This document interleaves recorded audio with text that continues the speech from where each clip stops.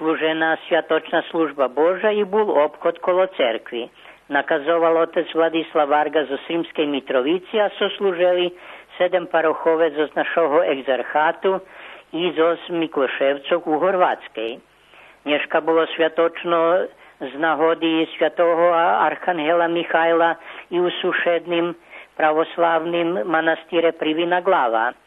Berka še udalo na čas porobiť väčšinu robotov u chotare, zakončiť šatvu žita i lamačku kukurici, ostalo ljem žimske oranje, ta nješka mali času krašnje privitať svojich osoch.